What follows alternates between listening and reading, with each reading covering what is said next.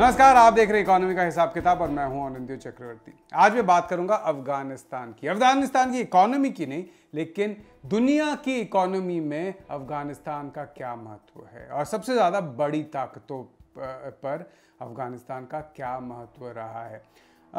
और ये मैं दो शब्दों में कह सकता हूँ, एक शब्द में, दो शब्द नहीं, एक शब्द में, और वो है तेल। दो शब्द यूज़ करूँ तो कच्चा तेल, यानी कि क्रूड ऑयल, जिससे पेट्रोल, डीजल, केरोसिन, एलपीजी सब बनता है। अब आप कहेंगे कि देखिए, अफ़गानिस्तान में तो कच्चा तेल नहीं है तो कच्चा तेल का खेल अफ़गानिस्तान में क्यों? अफ़गानिस्तान में कच्चा तेल नहीं है, लेकिन अगर आप अफ़गानिस्तान का मानचित्र देखेंगे तो उसके आसपास बहुत सारे ऐसे देश हैं, जहाँ पर कच्चा तेल है। जैसे कि अगर मैं अफ़गानिस्तान के पश्चिम में देखूँ, ईरान है। अगर मैं दुनिया के देश ले लूँ और उनका एक रैंक बना लाऊं कि किसके पास सबसे ज़्यादा कच्चे तेल का भंडार है, यानी कि रिज़र्व है। तो ईरान नंबर फोर पर आता है। और अगर मैं कच्चे तेल का सालाना उत्पादन देख लूँ तो फिर ईरान नंबर फाइव पर आता है। अफ़गानिस्तान के उत्तर भाग में तीन ऐसे देश हैं जो एक टाइम पर सोवियत संघ, यानी कि सोवियत रूस के पार्ट होते थे। तुर्कमेनिस्तान है और इनमें से जो कजाकिस्तान है, तजिकिस्तान है और उज़्बेकिस्तान है। और इनमें से तुर्कमेनिस्तान में अभी बहुत सारा नेचुरल गैस पाया गया है। तुर्कमेनिस्तान एक नेचुरल गैस का बड़ा भंडार है। साथ में आप देखेंगे तो अफ़गानिस्तान का एक छोटा सा छिहत्तर किलोमीटर का बॉर्डर चीन से भी सटा हुआ है और जो दक्षिण भाग है अफ़गानिस्तान का, वो लंबा सा बॉर्डर पाकिस्तान के साथ है। और ये पाकिस्तान के साथ बॉर्डर इसलिए है क्योंकि ब्रिटिश राज में अफ़गानिस्तान में जो पश्तून बहुल जगह थी, इलाका था, उसको, उसका बंटवारा किया गया था। ड्यूरैंड लाइन मानचित्र पर एक तरीके से खींच दिया गया था और उससे बंटवारा हो गया। बिल्कुल उसी तरीके से जैसे 1947 1947 में, सैतालीस में भारत का बंटवारा हुआ था, उसी तरीके से पश्तून बहुल जो इलाका था अफ़गानिस्तान का, उसका बांट दिया गया था और उसका एक हिस्सा, आधा हिस्सा ब्रिटिश राज के अंदर आ गया, ब्रिटिश एम्पायर के अंदर, जो बाद में पाकिस्तान में आ गया नॉर्थ वेस्टर्न फ्रंटियर प्रोविंस बन गया और बाकी अफ़गानिस्तान में रह गया। तो ये एक बहुत महत्वपूर्ण चीज़ हुआ। अंग्रेज़ों ने क्यों बांटा था? क्योंकि अंग्रेज़ों के लिए अफ़गानिस्तान का एक बड़ा महत्व ये था कि वो चाहते थे कि ऊपर जो रशियन एम्पायर है, उससे अफगान वो एक बफर जोन बनाया रखा जाए, भारत का जो उन्होंने जो भारत में राज उन्होंने कॉलोनी बनाया था, उससे एक बफर जोन बनाने के लिए अफ़गानिस्तान पर तीन बड़े युद्ध अंग्रेज़ों ने किया और बिल्कुल अफ़गानिस्तान को ख़त्म कर दिया। जानबूझ के ख़त्म किया, जाकि अफ़गानिस्तान की जो इकोनॉमी है, अफ़गानिस्तान की जो सोसाइटी है, वापस कभी ना आ सके। ये अंग्रेज़ों ने खुद लिखा है, खुद कहा है उस वक्त। खैर अफ़गानिस्तान में कभी भी इकोनॉमी पूरी तरह से बढ़ नहीं पाए लेकिन 1970 के दशक से और उससे पहले भी सोवियत रूस से काफ़ी सारा उनको मदद मिला था अफ़गानिस्तान में, काफ़ी सारा जिसको मॉडर्नाइजेशन प्लान कहा जा सकता है अफ़गानिस्तान का, वो हुआ वहाँ पर। और फिर सी आई ए वहाँ पर पहुँच गई। 1960 के दशक से सी आई ए पहुँच गई। सी आई ए ने जो जितने भी इस्लामिक मुजाहिदीन, जिहादी फोर्सेस थे, उनको सपोर्ट किया। और फिर 1979 में सोवियत यूनियन के के की आर्मी अफ़गानिस्तान में घुस आई और उसके बाद 10 साल तक वहाँ पर लड़ाई चला। और अमेरिका ने जो लोग सोवियत संघ की आर्मी के खिलाफ लड़ रहे थे, उनको पैसे दिए। कैसे पैसे दिए? पाकिस्तान के थ्रू। पाकिस्तान से सारा पैसा रूट किया गया स्टिंगर मिसाइल भेजा गया, आर्मामेंट भेजा गया, सऊदी अरेबिया ने भी पैसे दिए। बहुत सारे जो गल्फ़ के कंट्रीज़ थे, उन्होंने भी पैसे दिए। मुजाहिदीनों को। और ये जो मुजाहिदीन को वेस्ट में इस तरीके से दिखाया गया कि ये लोग बहुत ही अच्छे लोग हैं, ये तो लड़ रहे हैं सोवियत खिलाफ लोग खिलाफ। लेकिन आम आदमी जो हैं अफ़गानिस्तान के, ये इन लोगों से डरते थे, क्योंकि इनको वॉर लॉर्ड कहा जाता है। ये लोग बहुत ही बड़े तानाशाह थे और इनको पूरा सपोर्ट मिला यूएस का और पाकिस्तान का। खैर, ये लड़ाई चलती रही और 1992 के आसपास जब सोवियत संघ टूट गया, तब अमेरिका का धीरे धीरे इसमें इंटरेस्ट खत्म हो गया अफ़गानिस्तान में। अफ़गानिस्तान को धीरे धीरे इस तरीके से देखा गया और सबसे ज़्यादा पाकिस्तान के द्वारा देखा गया कि अफ़गानिस्तान में जो एक तरीके का एक रूट बनाया जाए ट्रेड रूट बना जाए, व्यापार का रूट बनाया जाए अफ़गानिस्तान से, ताकि पाकिस्तान से सामान सेंट्रल एशिया में पहुँचे और सेंट्रल एशिया से सामान पाकिस्तान पहुँचे। काफ़ी सारा स्मगलिंग हो और ये जो स्मगलिंग रूट चलाया जाता था या ट्रेड रूट भी चलाया जाता था, इसमें पाकिस्तान की ट्रकिंग माफिया बहुत ही महत्वपूर्ण थी। और उस वक्त हर रोड पर क्या होता था, ये जो मुजाहिदीन कमांडर जो अमेरिका के सपोर्ट से जीत गए और सोवियत संघ को उन्होंने भगा दिया और जो कंट्रोल में आ गया, वो हर जगह कुछ ना कुछ एक तरीके का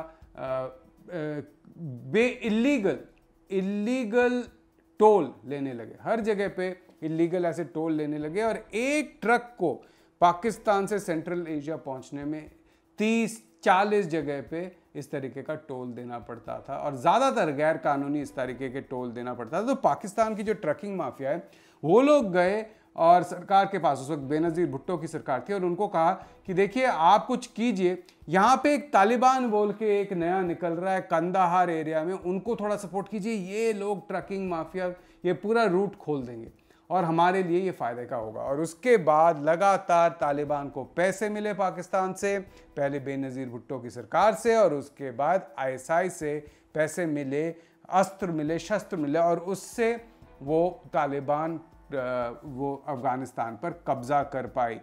ऐसे भी कहा जाता है कि तालिबान को बहुत सारा पैसा अमेरिका को से मिला, खुफिया तरीके से मिला सीआईए के थ्रू मिला और इसका बड़ा कारण ये था कि ईरान जो है अफ़गानिस्तान से सटा हुआ, ये अमेरिका के खिलाफ था और ईरान को कब, अगर ईरान का जो बोल है वो अफ़गानिस्तान में बोलबाला ना हो सके, इसलिए अमेरिका चाहती थी कि ऐसा एक ग्रुप सामने आए जो ईरान के खिलाफ हो और उसका कब्ज़ा ज़्यादा हो अफ़गानिस्तान पर। और सबसे बड़ी बात है उस वक्त ये भी एक तय किया गया है कि अफ़गानिस्तान के बीच में से पाइपलाइन जाएगा गैस ले जाने का पाइपलाइन जाएगा जो कि तुर्कमेनिस्तान से जाकर सीधा पाकिस्तान जाएगा और बाकी देशों में भी जाएगा।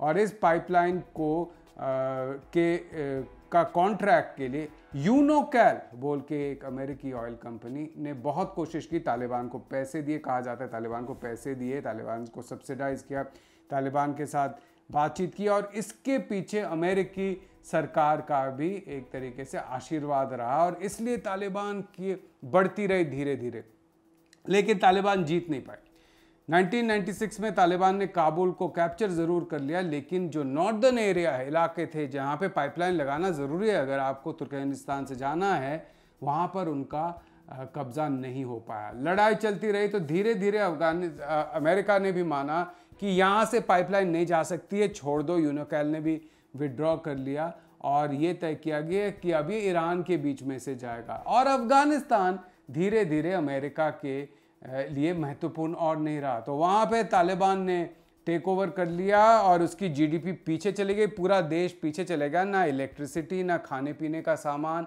ना कोई ब्रिज ना रास्ता, ना एजुकेशन ना हेल्थ कुछ नहीं रहा। इस, ऐसे छोड़ा अमेरिका ने इस देश को। खैर 2001 में हम जानते हैं, अमेरिका ने फिर से अफ़गानिस्तान में अपना बॉम्बिंग किया। अमेरिकन इन्वेजन हुआ 2001 में। कारण क्या था? 9/11 में जो अटैक हुआ था टेरर अटैक जिसमें 19 हाईजैकर थे 19 में से 15 सऊदी अरेबियन हाईजैकर थे फिर भी अटैक हुआ था अफ़गानिस्तान पर। इस कारण कि सोसामा बिन लादेन को माना गया कि इन्होंने ये हाईजैक करवा के टेरर अटैक करवाया था जबकि ओसामा ने कभी ये बात नहीं माना। उस वक्त तो नहीं माना और बाद में भी जो टेप वगैरह है उसमें साफ़ कभी नहीं हुआ कि, कि ये ओसामा बिन लादेन ही है जो ये बात मान रहे तालिबान ने कहा चलिए हम ओसामा बिन लादेन हमारे मेहमान हैं, क्योंकि बिन लादेन उस वक्त अफ़गानिस्तान में थे। हम थर्ड पार्टी को दे देंगे, आपको नहीं देंगे। तो अमेरिका ने ये बात नहीं माना। लेकिन एक चीज़ आप देखिए कि हुआ क्या।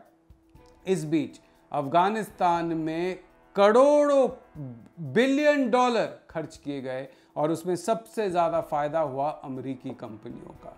चाहे वो अमरीकी ऑयल कंपनी हो, चाहे वो अमरीकी सिक्योरिटी कंपनी हो। अमेरिका में अफ़गानिस्तान में जितने भी सोल्जर अमेरिकन आर्मी के थे, उसके तीन गुना प्राइवेट सिक्योरिटी वाले थे अफ़गानिस्तान में। उनको फ़ायदा हुआ, जिन्होंने जाकर अमेरिका में अफ़गानिस्तान में अमेरिकी बेस बनाए, वहाँ पे सोल्जर जो सेना है, उनके लिए चीज़ें बनाए कैंटीन का कॉन्ट्रैक्ट मिला क्लीनिंग का कॉन्ट्रैक्ट मिला ट्रांसपोर्ट का कॉन्ट्रैक्ट मिला, ऐसी बड़ी बड़ी कंपनियाँ कंस्ट्रक्शन कंपनियाँ और हाँ जो लोग अस्त्र शस्त्र बनाने वाली आर्मामेंट कंपनियाँ उनको करोड़ों डॉलर का बिलियंस ऑफ़ डॉलर का फ़ायदा हुआ। 2003 में एक अनुमान किया गया था कि जितना भी पैसा अफ़गानिस्तान के रिकंस्ट्रक्शन में आ रहा है, ताकि अफ़गानिस्तान फिर से एक मॉडर्न वो बन सके नेशन बन सके, उसका सिर्फ़ तीन प्रतिशत रिकंस्ट्रक्शन में खर्च हो रहा था। बाकी सब या तो गायब हो रहा था, जो अमेरिका ने जिन लोगों को बिठाया था वो लोग चोरी कर रहे थे, या तो वो सिर्फ़ एडमिनिस्ट्रेशन और आर्मी और वॉर एफर्ट पर जा रहा था। ये है हाल। 20 साल तक अमेरिका ने वहाँ पर अपना ट्रूप्स रखा। 20 साल से अमेरिका के सपोर्टेड सरकार, की सरकार अफ़गानिस्तान में रही, लेकिन अफ़गानिस्तान वैसे का वैसा रहा, गरीब का गरीब रहा, कुछ भी वहाँ पर नहीं हुआ। लगभग कुछ भी नहीं हुआ अफ़गानिस्तान में। और आज अगर तालिबान वापस आ गया है तो क्या ये हम मान सकते हैं कि इसके पीछे कोई बड़ा प्लान नहीं है? क्या हम मान सकते हैं कि तालिबान को वापस आने में किसी ने पैसे नहीं दिए? हाँ साफ़ है, पाकिस्तान ने, सऊदी अरेबिया ने, कतार ने, इन्होंने पैसे दिए हैं। तालिबान को सपोर्ट किया है। क्या अमेरिका ने, को नहीं पता था कि ऐसा हो रहा है? ये सवाल रहेंगे। क्यों अमेरिका निकल कर चली गई है जब हम जानते हैं कि अफ़गानिस्तान में करोड़ों डॉलर के का लिथियम जो कि बाद में बैटरी बनाने वगैरह में काम आ सकता है। क्या इसमें चीन का आ, कोई प्रभाव है? क्या अमेरिका पाकिस्तान को खुश रखना चाहती है ताकि पाकिस्तान चीन के गोद में और भी ना बैठ जाए? यही सवाल रहेंगे और अभी धीरे धीरे इसका इन्वेस्टिगेशन होगा तो और भी डिटेल आपके सामने हम लाते रहेंगे। आज का एपिसोड यही तक। न्यूज़ क्लिक देखते रहिए और हमें सब्सक्राइब भी ज़रूर कीजिए।